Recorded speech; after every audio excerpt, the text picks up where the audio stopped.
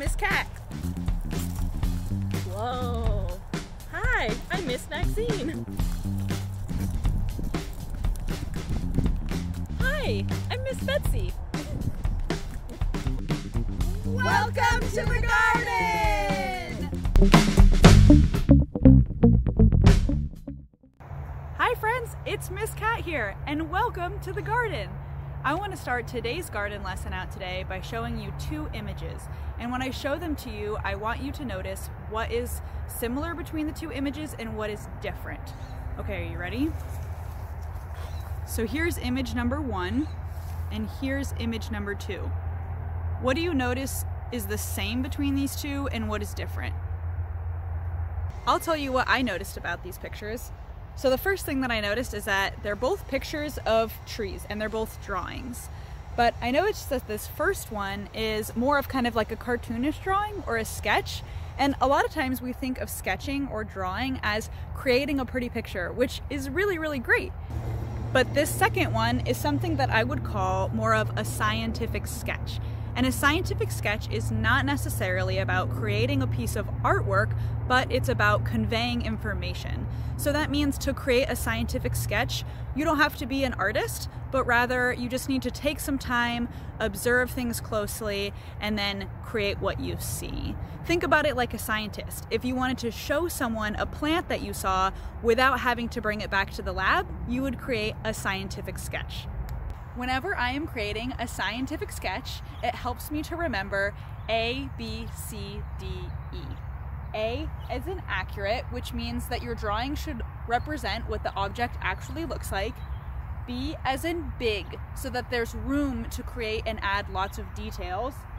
C as in colorful, because by adding color, you can communicate more information. D as in detailed, and then E as in explained, which means that you can write notes or write questions to your drawing to add more information. So your garden challenge after watching this video today is going to be to create a scientific sketch of your own. But before you go ahead and do that, I'm gonna give you an example of how I would create a scientific sketch and then you'll be able to go ahead and make your own. Okay, so to start, I went and gathered all of my materials, which include a piece of paper, a leaf that I found just from walking around outside my house, and I chose this one because I think it's a really pretty color. A pencil, and then some colored pencils to add color to my drawing. If you have colored pencils or markers or crayons at home, it's great to have those to use, and if you don't, it's okay to do your sketch just in black and white.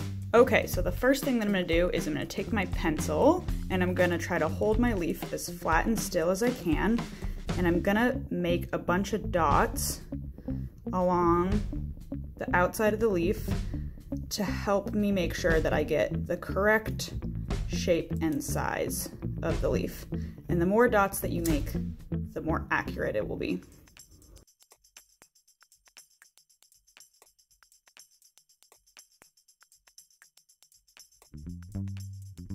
The next step is gonna be to draw the center lines on the leaf, which on this one it has three center lines right here, and then I'm gonna trace the overall shape of the leaf.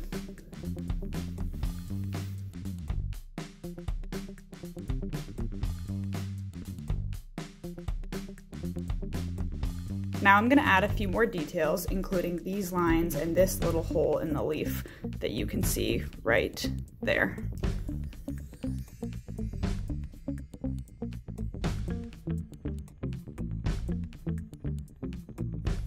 Now I'm gonna add a little bit of color.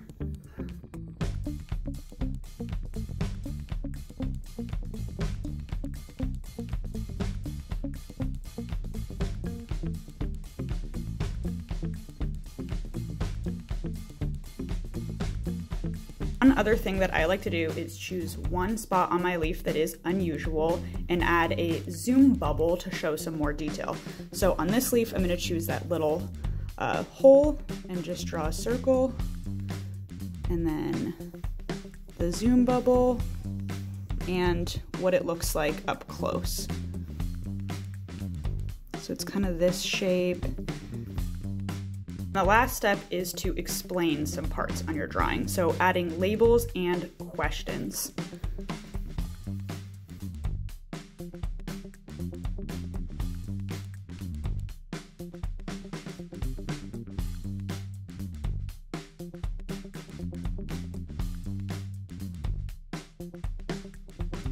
So now that you know how to create a scientific sketch, go ahead and find a leaf, get a piece of paper and a pencil, and create your own and share it with the class.